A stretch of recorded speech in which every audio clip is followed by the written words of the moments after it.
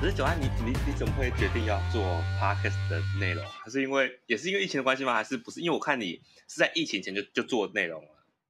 哦，因为会想做 podcast，因为我自己本身个性是非常极端害羞内向的人。我表演台上那个样子是我期望的样子，可是那是相反的我。我私底下是不跟人讲话的，但是我后来觉得说，呃，一直不跟人讲话好像不太好，不管对表演还是对人生都不太好。所以我觉得希望可以靠着 podcast 是是一个逼自己讲话，还有逼自己去跟别人交流的一个方式，然后也可以训练自己咬字啊、口条、反应这些东西。然后所以我就好，那我就，哎，把这当做修炼，就开始跳进来做 podcast。然后做着做着也到第十三集，因为真的对自己修炼的动机，当做修炼，当做修炼。对对对对。那我发现大概做到第三、第四集，就发现，哎，比较敢跟别人开口，而且讲话的感觉变好很多。有这有练有差啦，有练有差。然后找你的话，是因为。我那个时候在想说，哎，大概本来是预计说七月十二号可能会解封，可是我那时候想说可能没有办法解封，但是我手上已经没有库存的 podcast 了，但是我又很讨厌远端连线录音，嗯，因为远端连线录音不是实际在跟一个人直接的交流的话，我不确定自己是不是真的可以把害羞的那一面丢掉，因为我们现在是隔着荧幕讲话，就其实我。不太有点像是用荧幕来保护自己，我那个害羞的内心其实是被保护的话，可能才可以有办法展现。但是真的要确定自己能不能，呃，丢掉害羞的话，还是要当面相处才晓得。所以我比较倾向当面的聊天。但是现在变成说一定要远端录音的话，那我就找一个只能远端录音的人。所以就是找一个外县市的人，所以我就想到 外县市的人，外县市找谁呢？哎，找一个高雄人好了，绝对只能远端录音。我想说，哦，哎，聊一个，找一个，对，有够远，这绝对只能喜剧开场，绝对只能远端录音。所以这一集呢，呃，我们 EP 十四还是跟喜剧开港的阿海，阿海来聊天，耶。那呃，我们这一集的话，耶，这一集的话就是呃，继续聊说哦，因为我们呃，喜剧看我现在做 open m i 跟办表演也开始半年了。那你们现在的演员应该就是有维持一个稳定的数量。那一开始是怎么找到这些演员的？比方说像卡米蒂，对啊，卡米蒂是一开始培训班还是拉朋友进来的？那你们是怎么找到这些演员？我们开始怎么找到这些演员？对呀，我我我想一下。好啊，是网络上说我们放 open m i 吗？应该说就是嗯，我我想说就是有我们有很多的呃表演者，嗯，他其实已经第一次来的表演者，已经我已经没有再看过他了。哦哦，一一 定会有，一定会有这种人，是一定会有。对，已经没有再看过他。嗯，然后中间进来，然后一直留下来。做表演的其实大概呃，可能就是十个人，这个比例啊，比例大概就十个，然后会有一个会留下来持续的努力做表演，很正常。现在最常出现的有有有几位都是从呃卡米蒂的表演，卡米蒂的呃新生班嘛，就是脱口秀班那个 social 的课，嗯，然后他可能他可能是高雄人，然后可能是台南人，然后在。台北上完课或台中上完课，然后回到自己的城市，然后发现说，哎，高雄现在也有人在做脱口秀了，然后就来这边做固定的表演，固定尝试他的 open m i 的段子。然后除此之外，还有一些成员，我猜啊，我猜他们都是因为本身职业可能呃就很擅长跟人家对话，或者是他可能是主持人，啊，像我们其中有一个他是。她是故事姐姐，她本来每天就是在讲故事给小朋友听的啊啊啊！然后她在朋友的介绍认识下，然后说：“哎，你那么会讲，呃，你那么会讲话骗小孩 没有？你那么会讲故事给人家听，那你要不要来分享你的的事情给其他大人听？”嗯哼嗯嗯，然后这样子这样子过来，嗯，其实我我我觉得应该都是完全，呃，可能以前有看过影片。然后因为粉砖或是朋友介绍进来，然后开始固定下来表演。可是南部的就是演员群，嗯，成熟度我必须讲，因为我们基本上没有任何一个演员出去上过那个专业的课程或是培训班的课程，所以其实都是土法自自己的方式土法练钢起来在做演出。那撞墙期会会比较长一点点。可是另外一个特色，我觉得这样有个好处就是。有台北的演员下来跟我们讲说，就是我觉得喜剧看港蛮特别的一点是，嗯，你抓不太到那个呃风格，像是他他们就跟我讲说，你去呃你去二三或者是去卡米蒂看看 open m i 的时候，如果那个人是新人，即使他是新人，嗯，你也可以大概知道说哦。他是哪一个体系出来的，或者是哦，他是大概是想学哪一个人风格出来的哦，你就会知道说哦，他是卡米蒂的的素人，或者他是他是二三那边的素人，嗯嗯嗯。可是，在高雄这边，你不太会看到呃一个明确的一个范本，对，可能他的他的内容基本上都很都很原创，但是也都相当相当的相当的欠磨练。相当先磨练，所以有时候我们真的会发生那种，就是那那个五分钟的 open mic，有一两个演员，哇，真的不知道他在冲他笑，真的不知道他在攻哈小，他他那个已经不是意识流了，就是说他到底在分享还是他尝试要表达一件事情，我真的搞不清楚。那也是算 算特色之一吧。就有时候大家都很顺很顺的，然后中间突然出现一个。这样子的人，我是觉得蛮蛮特别的。演员的组成大概就是就是这样子来的。嗯，每个人都自己突法炼钢，好酷哦，好有趣。那你们现在跟自己演员的关系是什么样？你你是怎么样看待演员？还有演员这样怎么样看待你们？我想要了解这种感觉。哇，呃，我比方说，我我是卡米蒂系统，那我看待卡米蒂，其实卡米蒂对于演员来说就是。呃，流浪狗收容之家，它专门收容各地的疯子，所以很多神经病才会死心塌地的爱卡米蒂，像这种感觉，有有有一点这样的感觉，但是可是我觉得这个可能要问其他来喜剧开港表演表演的人可能会比较准。啊。我先讲就是呃，作为呃品牌方的想法是。呃，我们作为品牌方的想法就是我们会固定举办呃 open m i 那举办 open m i 的同时，我们会在呃，会我们会经营一个演员社群，跟经营一个呃，经营一个本专跟 YouTube 频道。嗯哼。那这些 YouTube 频道，它同时是在服务，就是我的消费者跟跟提供服务的对象，同时是这些看喜剧的观众，那同时也是这些表演者。如果说你们想要呃借此呃。想要做一档一档秀或一场表演，你们可以用喜剧开港的资源，然后上面会挂喜剧开港的名字，可是演出的人是你们，然后这些演员你们的呃表演的行销跟场地、场控、灯控这些内容，都会有喜剧开港来 cover 你们啊啊啊！然后演出是你们的，就是你们就是负责做好表演者跟呃创作者的角色，然后其他部分喜剧开港都会呃。帮你们 cover 这样子，你当一个纯行政跟制作制作者的角度，我我们就是一个一个制作方，对。然后我因为我自己同时也是演员，所以如果说我要使用喜剧场的这些资源这些东西，也是比较一样的的条件，并不会特别的的优渥或什么的，就是都是用一样的方式。那我们的 YouTube 平平台跟演出的平台，就等于说是，如果你们有自己的影片，你们只要有上传。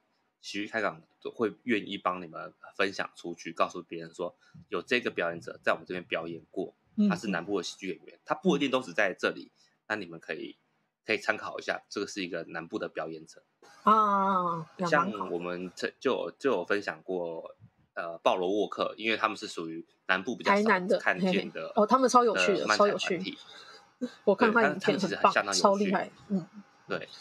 然后他们就来做过一次，来他们有来我们的 Open m i 表演过一次，然后我们就会像是有有活动邀约的演出，我们就会找他们过来一起一起合作，然后跟别人宣传说，哎，南部有这样的一个表演者，你们可以参考一下。我会比较希望你刚刚有提到说社群吧，我可能会希望它是一个，呃，它是一个表演者之间表演者之间的一个南部社群，嗯，然后对于观众来说就是一个品牌，我我可能不用去 follow 到那么多的表演者，可是我只要知道，如果说是喜剧开港推出来的的一场秀或一场演出，嗯，那我就买票去看，绝对是是值得的，哦，他们会帮我们做好品质的。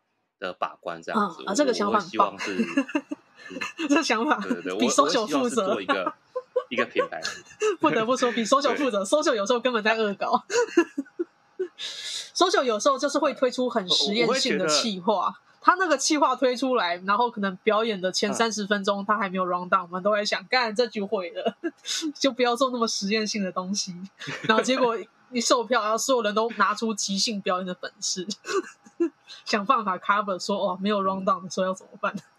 说久有时候太随性了，但我觉得听到你这样子的话，那那你自己的把关的有做好，我觉得蛮感动的。我我会我会这样子想啦，我会这样想，就是呃，social 当的做法其实等于就是这样的，它真的包容性很强。对，可是我我我就会觉得说，这个可能要做一个嗯子品牌，就像是有些大品牌，他们可能。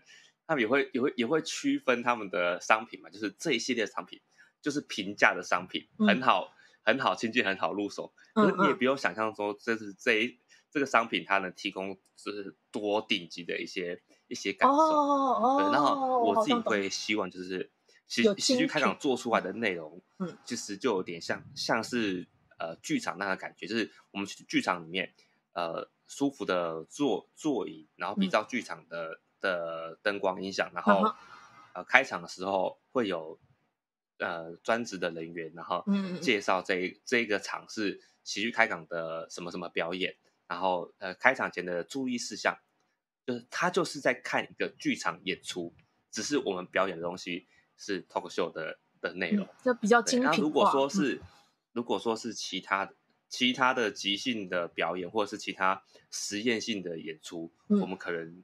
就会请他们用，嗯，也许不同的的名称、子品牌的方式。啊，这个是我我会觉得，呃，这样子对观众来说，他们也不是说负责，就是观众他们会比较好去区分。对对对，对，我要买啊，我要买的东西是星巴克，还是买的东西是 City 咖啡？这样比较好。对，这个想法很好，但是拿给搜九，他只会听听。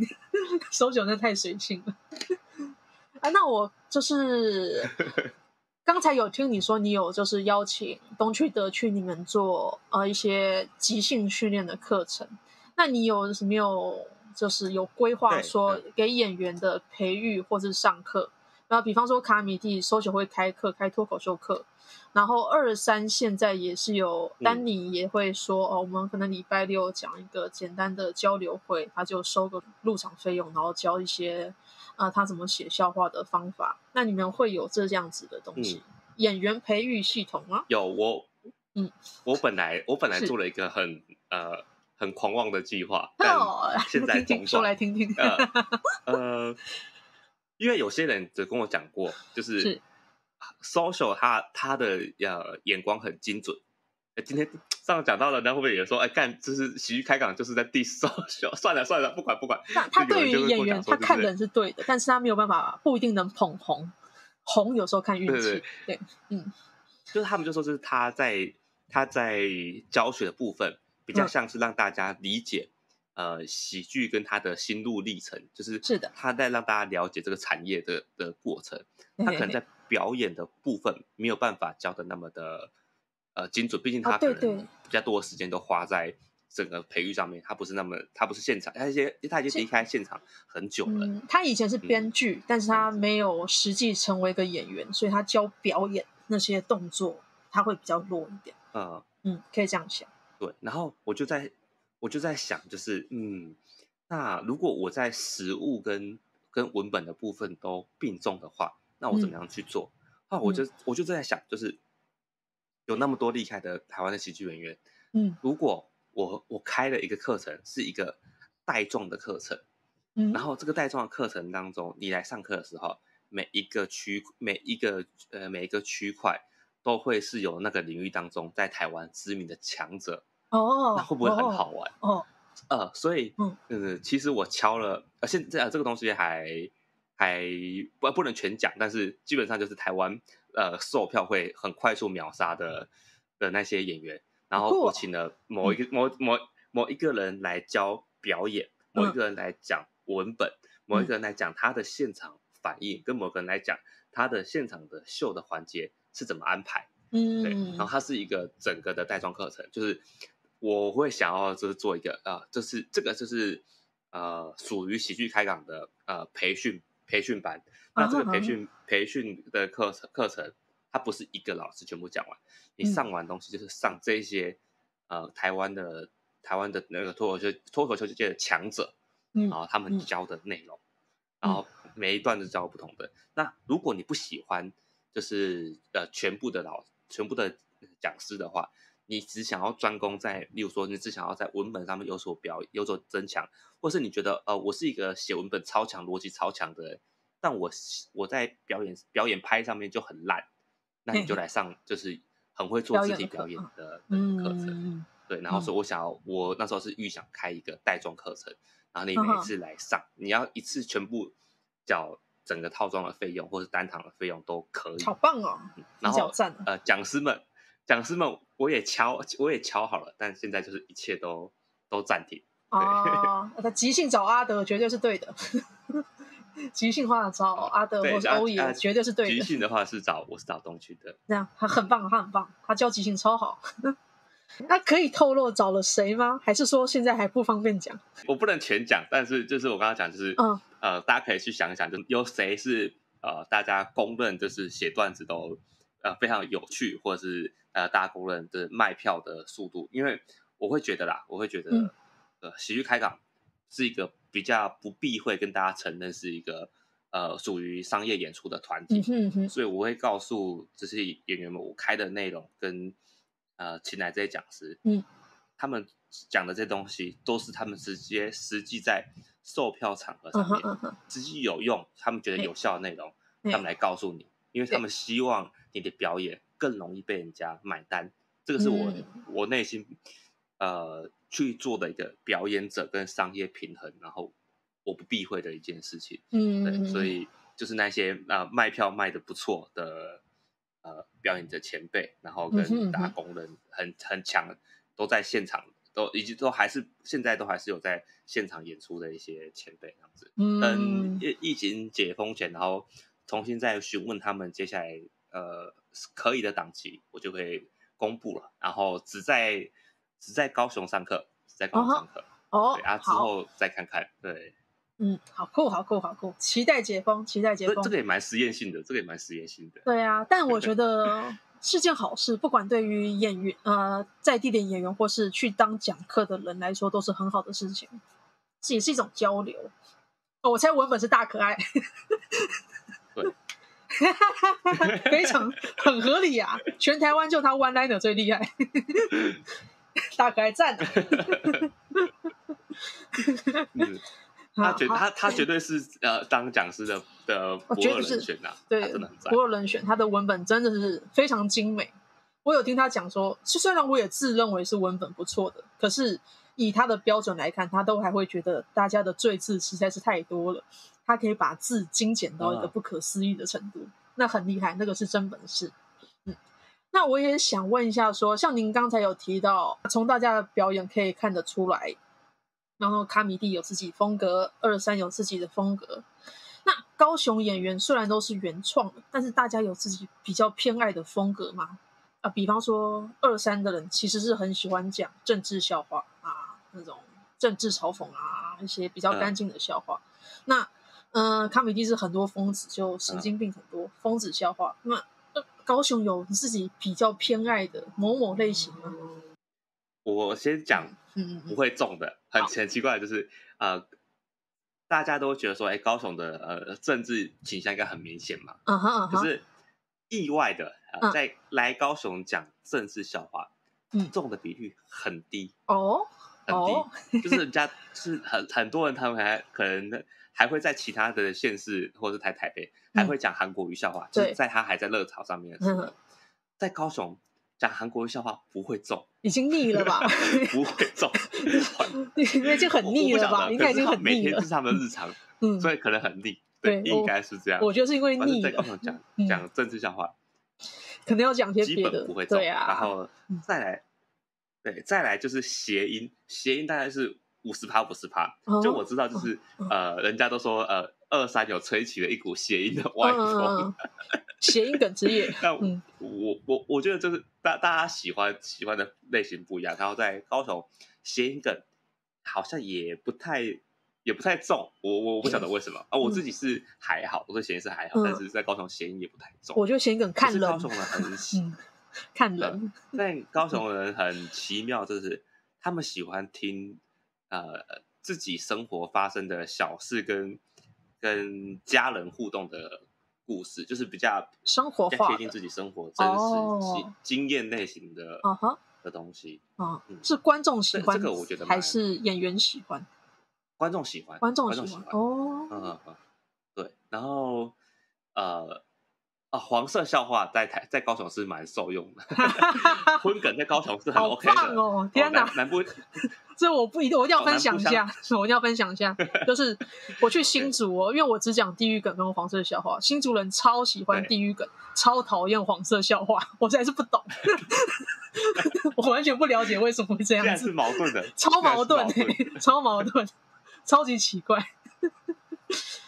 但之前 去高雄讲不羁也是专门讲黄色笑话，我就感受到，哎大家其实很喜欢黄色笑话这种。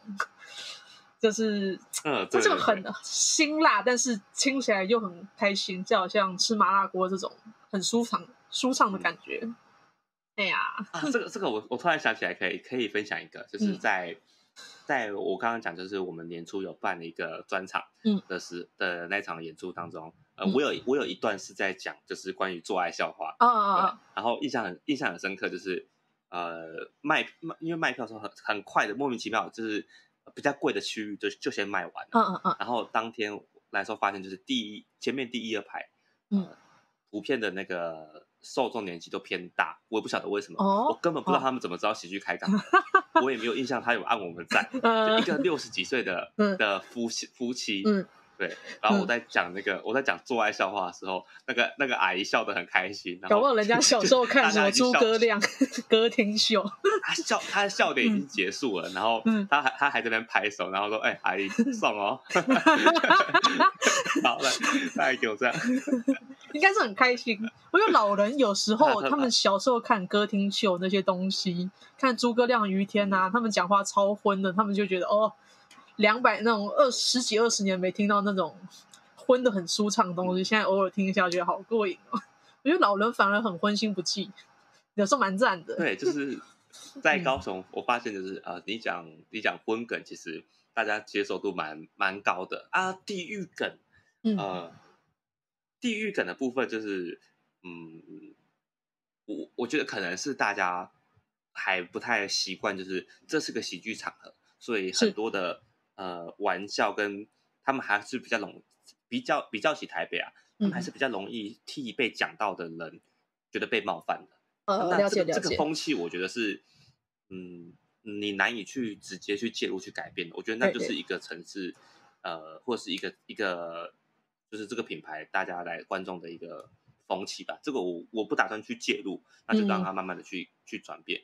像在在高雄话是那种那种开。开地狱梗的玩笑，我我我不去评论地狱梗怎么样，只是说在地狱梗的玩笑部分，大家是比较难去接受。他们可能有些会笑，可能会有些会觉得可以接受，可是他们在表面上的时候是都是不敢表达出来的哦，就是看，然后他们还不敢做任何的的反应。嗯嗯嗯嗯，没关系，每个人有自己的喜欢的风格，很正常，很正常。对对对，对呀。那呃，你们的观众哦，在看表演的时候的。气氛跟态度什么样子？比方说像台北啊，有些观众就是你他们一坐下来你就知道这个人不是来看表演，他们时候会那种双手交叉，那种看起来吊儿郎当一副，我今天就是来看你多好笑这种心态，坐在那里你就知道这个人不是来看表演，他来找茬。那你会觉得高雄人来看表演的态度是怎么样？就是来享受吗？还是他是来挑你毛病的？嗯。呃，这这个部分，这个部分我们就说这是呃高雄喜剧开港的骄傲哦。所有所有来过喜剧开港的呃外县市演员都说：天哪！这里好 friendly 哦，哇，这里好友善，听起来好赞哦。他说 最好的观众在台，在台北从来没有就是这样的 open mic 场合，一开场没多久，大家就都很开心，哦，然后大家对于笑话这东西都很捧场，好哎，好听好棒，讲讲讲什么，就是基本上呃，我们我们也不是说我们完全没有那种很冷的场子，也是有过几次冷的场子，可是大部分的时候。呃，互动性跟呃放松的气氛，就是。对，就是其实相当的放松，然后观众的回应其实都相当的舒服，就是我们没有发生过那种就是呃现场来，就你像你刚刚讲的那种，哦，我就是来看你多好笑，你讲什么我就吐什么东西，啊，你也不是在做那种正常的的喜剧互动啊，你也不是真的很懂的那种观众，嗯嗯，呃，然后也没有什么那种就是呃装秋。或者是很吵闹，或者是啊进来，就是你明明就花钱花钱听 open m i 然后你还进来，然后这边呃看书啦、划手机，完全做自己的事情，说干嘛？你是进来吹冷气，花一百五十块吹冷气是不是？我不懂。嗯嗯，这高雄是呃，我我我敢讲，就是因为我们我每场都有到，我是主办方，你就讲就是只有发生过一次，就是呃场子比较冷的的状况，其他场基本上都相当的舒服，然后。呃，观众们都是跟我们培养了相当好的默契，这点是我觉得喜剧开场相当令我感动。我真的很感谢这些 观众素质，观众素质真高，超棒，超棒的。问问其他呃，不要说自己讲，问其他的那个台北来过的喜剧演员，他们应该都知道，都知道，应该都很感动。那观众是会愿意一直买票，一直买票入场的吗？呃，算你会觉得有看到呃。重复的、重复来的客户人多吗？还是你会觉得哦，新的客人、新的客人都有？呃，新的客人其实老实讲，还是占来看 Open m i 新的客人还是占多数，是还是占多数。可是比例没有像其他县市那么高。这样我那时候听听了才知道说，哦，二三的观众其实呃，基本上每个礼拜都还是八成左右是全新观众。嗯，我很惊讶这件事，非常多是。呃，我以为都是已经建立起来，都是已经习惯回头的消费客人，但其实可能不是，不是这样子。那在高雄的话，现在啊，现在大概是四成左右吧，大概三到四成是呃固定的的观众。嗯，对，蛮好的。然后这些固定的观众们，我已经我已经就是看到他们，我我已经记得起他们的绰号或者是他们的的姓氏，然后他们喜欢哪一类型的表演。啊，对对对对，我就可以跟他们小小的聊天，然后这样，其实蛮蛮蛮蛮，我对这件事也是蛮感动，就是啊，他们在我们初期还很尴尬的时候，他们就愿意来。对，我觉得这个现在也没有多好笑，嗯，对，可是他们就是愿意看着可能相呃类似的梗，每每一周啊，每每一次的演出可能有三十趴甚至五十趴左右是重复，然后再修过的东西。但是他仍然能笑得很开心，享受的很开心。对，我就觉得人真的超好，有超好。只要有只要有这些人在，哦，我没有，我除非亏钱亏得很严重，不然的话，我没有理由把喜剧开港停掉。我我会为了这些人，然后持续去办，因为他们有时候甚至呃几个礼拜，他们还会带带一个朋友来一起来来听这样子。很人真的很好哎，他们。超棒的观众，天哪！也不特别跟你讲什么东西，但是他们就带朋友来听，嗯来跟你打个招呼，然后结束了就就就开开心心的离开，这样。好好哦，这些人真的很让人很感动。对，让人很感动。我想到我最近是我们团的专场表演，就是有一些喜剧铁粉，他已经每个礼拜的 open m i d 都来了。然后我们那天我们是办三场表演，他居然。连续看其中两场，我觉得实在太扯啦！好挺哦，好挺哦！他来了，我都觉得我要退其中一天的票给他才比较好，实在是太挺了。那真的遇到这样的观众，自己会觉得哦，好感动哦！怎么会有这种事情发生？会觉得嗯，就是有这种人，就是更加深自己，然后继续做喜剧的意愿。嗯。那你现在就是虽然是一个算是年轻的品牌，到现在嗯，快一年了，快一年。那你对于在还不到一年，呃，到八月才一年嘛，是吗？对对对。好，那你对于在高雄发展，继续做喜剧跟继续做喜剧开场的品牌，你有什么展望跟目标吗？嗯，哦，我是这个是喜剧开港，开港开港啊啊啊！喜剧开港，因为我最近看那个日剧。对，最近有个日剧叫《喜剧开场》，很赞很赞。那他们是喜剧开港，喜剧开港。嗯，展望，嗯嗯，我我不我不想不喜欢就是要讲得多。我是一个野心很大的人，但是我不敢不敢就是把话话讲大的嗯人，所以嗯，说展望的话，近期的近期目标是的，是做到的事情啊，就是呃，让让高雄的喜剧演员。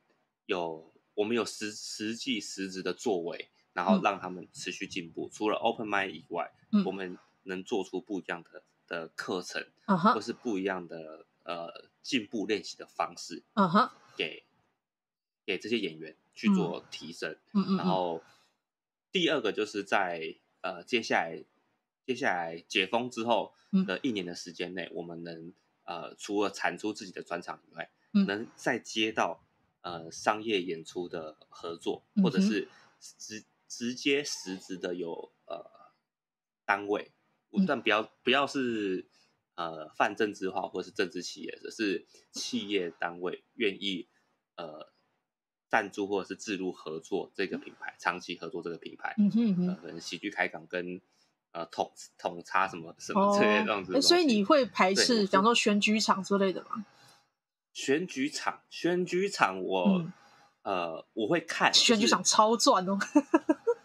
选举场应该赚，但是我我我的底线就是，呃，他不能审我们的内容，说你的这场内容你可以讲什么，你你只能讲支持我们的东西，然后或是你要我们的演员写文本去攻击对方，这个我可能没办法。了解了解。但如果你说说呃这场表演写。呃，关于我我观察政治的发现，嗯嗯，那这东西我觉得可以接，这个东西我就我就可以接。这让我想到第二个是，让我想到卡米蒂以前有接过连胜文的案子，那个很好笑，就连胜文那时候在选台北市长。但是是他就跑来卡米蒂说想要练习有没有教口才跟幽默的课程，然后卡米蒂一群人就觉得哇这案子很大，廉价的钱想必是相当的多啊，他们就开了个课程来教连胜文怎么样子讲话跟变幽默，但我觉得可能没有成功。如果是这种这样，如果是这种 case，你们 这种可能可以接，因为比较幕后一点，比较幕后一点，而且你只是教学，这可能可以，这可能可以做，这可能可以接，这可以做。哎，那你刚才有讲到一半，嗯，你刚讲到一半，我打断的时候是实际，对对对，没关系，没关系，好赞。最后一个，最后一个就是，嗯。我会希望能有一个，哎，现在现在我们我很感谢现在能在呃贝壳窝这个地方，是我会希望，我会希望就是喜剧开港在接下来的几年，也许两年或者是三年的时间内，嗯，我们可以移到一个属于我们自己的的地方，就这个地方大家来，就是它它不是一个复合的其他的商业空间，它是一个就是属于喜剧开港的的。空间甚至是一个小型的剧场，剧场跟跟卡米蒂那样子。我我不知道你久安知不知道那个高雄有一个叫做呃海音中心的一个场馆，它我我我知道，那很大哎，那很大。有我知道这个地方刚落成的，这不是海音中心，在海音中心的对面，其实呃盖了好几座像是金鱼的一个建筑物，然后它其实就是一个一个的剧场空间，或者多功能展演空间。像旁边是小牌子，我发现其实是有一些，对，有一些小，有一些不是不是小品牌，有些品牌是有进驻里面的。哦。然后我在想，也许啊，也许如果有一天我们这个品牌能像能像卡米蒂或是像二三那样有一个属于自己的空间的话，那会是一件相当好的事情。然后相当好，这个空间我也可以去安排，让呃演员他们可能自己来这边做做练习，或者说做其他的。呃，排练使用，嗯，这个是最呃第三个最算也算最大的吧，它实际上的花费比较多，对它比较有一个属于喜剧开港自己的一个空间。嗯哼哼，我现在目前知道的有自己空间纯做空间的，其实都很花钱。像二三是因为还有在做酒吧卖酒，可以弥补一些。对，然后新竹那边的话，他们是跟有点像是练舞室合租的，就是除了做表演以外，时间就是给跳舞的人拿去跳街舞，所以有人当帮他们分担租金，这样子才比较能活下来。所以有自己空间真的是一个等自己牌子大一点、收入多一点再做的事情会比较好。那是花钱的事情，对啊。说实在的，说实在，那是烧钱事情。到现在其实都是都是不赚钱的事情，一定的，一定的。但是，对，卡米蒂做到做到去年，卡米蒂到去年才赚，他烧钱烧十年呢，我的老天爷！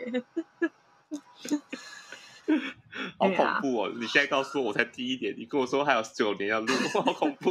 我但我觉得，我觉得最辛苦的路，social 已经走完了，现在其他人都是呃站在 social 的肩膀上。对，对啊，这个很厉害，这这真的很厉害。是我当我当时就在想说，就是因为我是一个擅长使用网络做行销工具的的人，然后我当时就在想说，卡米一当初在做的时候，嗯。他连脸书发文都没办法发，那时候那时候他当初在做剧场喜剧的时候，还没有脸书可以，只能口耳相传，只能写网志。我现在想想都觉得，那个 到底资讯要怎么传播出去？只能口耳相传，真的好可怕。对呀，我就觉得非常的辛苦。是对我来说是黑黑暗时代，我没有我没有办法想象，我没有这些网络工具。我要怎么跟人家介绍喜剧开港？我要怎么做事情？我是没有办法。而且我觉得最惊人的是，social 他自己开网络公司，这个真的是他的本业是网络公司，然后你网络行销做的乱七八糟，这合理吗？等一下，刚刚那是段子吧？我不信，我不信，我不信，这是真的，这是真的。他自己有一个网络公司，所以他才有办法烧钱、烧钱、烧这个烧喜剧的事情。他就是活得很奇妙的一个人啊！说实在的，那我们今天就是聊到这，也是很丰富、很丰富，了解了高雄的喜剧发展的现象，得到很多东西。那喜剧开港有没有什么想要宣传的东西，或是粉丝页啊，那是发开始或者文章活动宣传的？对对对对。可以跟大家讲一下哪里可以找到你呢？或是看你们的活动。嗯，我们的 SEO 做的还 OK 啦，所以打喜剧开港应该基本上就是都是找到我们。真的是很好找。每呃，我们每一周会更新一支呃 YouTube 的影片，那这支影片都会是喜剧开港的呃表演内容。然后有时候会有一些惊喜彩蛋，就是它不是不只是我们徐康的素人，可能有时候你会发现到，哎，有一些台北的演员也有来这边讲过。对，然后这可能是他很实验性的段子，他刚好下来讲，然后也有可能就呃，也有另外一个就是我们现在有在做线上的呃 open m i 那每个礼拜五的晚上八点我们会做一次线上 open m i 在解封之前，我们每个礼拜都会做一次。那如果你你呃没事可以想要来听看看的观众们，可以每个礼拜五，然后在我们喜剧看场的呃 YouTube 或者是呃脸书都会看到相关的的直播连接。这是可以来看的。那想要来报名也是可以的，对，因为 Open i 其实是一个大家都可以上来尝试的，嗯嗯，一个嗯嗯练习讲笑话的场合。线上 Open i 不限地点，来试试看。线上 Open i 大家都可以试。对对对，比较起呃卡米蒂跟二三，呃，可能喜剧看压力比较不会那么大，因为二三跟跟卡米蒂都有，大家都有相当久的表演经验，或者是。